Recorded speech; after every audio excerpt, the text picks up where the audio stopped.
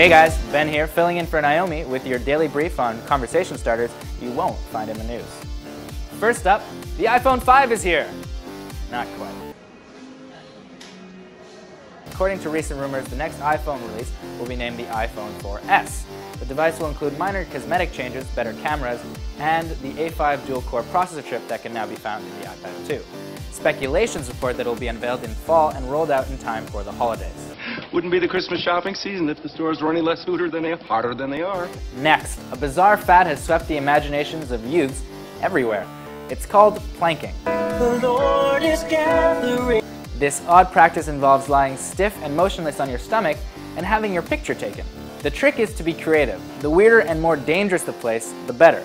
In fact, a man recently fell to his death after attempting to plank on his seven-story balcony. What you just said is one of the most insanely idiotic things I have ever heard.